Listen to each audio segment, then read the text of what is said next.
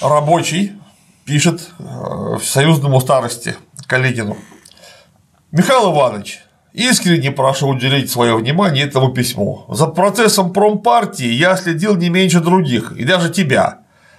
Вот что все, что писала наша ленинградская печать, просматривалось мною. Каждое показание подсудимых промпартии взвешивал я и учитывал их раскаяние перед пролетарским судом.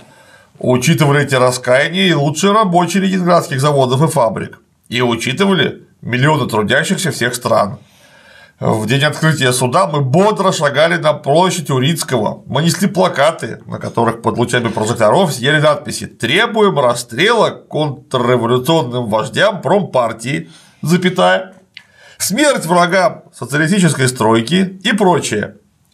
Мы шли бодро, крепкими шагами измеряли свой путь и как будто чувствовали, что мы идем в бой с буржуазией. Это шли не единицы и не сотни, а тысячи, десятки тысяч, миллионы. Даже в день объявления приговора мы, работающие в ночную смену, ночью услышали, что Рамзину расстрел.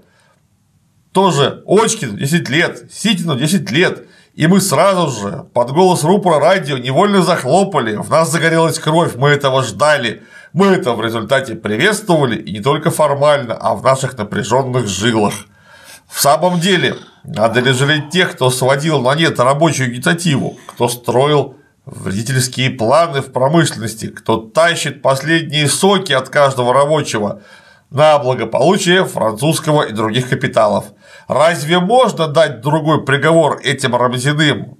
Разве дорого их раскаяние? Да оно нам было нужно, оно не должно было отменять расстрела.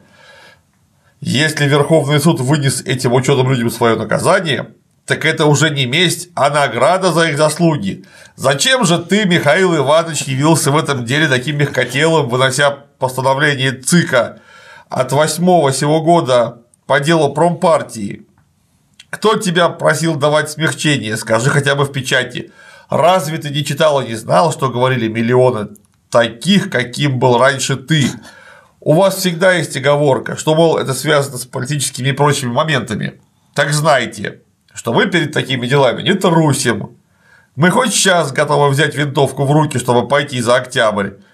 Передайте эти уверения и Сталину от меня, беспартийного рабочего.